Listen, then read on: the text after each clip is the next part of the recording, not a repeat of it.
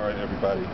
We're going to catch this guy off here, offhand, and see if he knows what the world's most read magazine is. I'm gonna try and cover everything up. Let's go. Hey, how's it going, man? Hey, Good. We just wanted to know. I'm with a magazine. I'm not gonna tell you which one, but I wanted to know.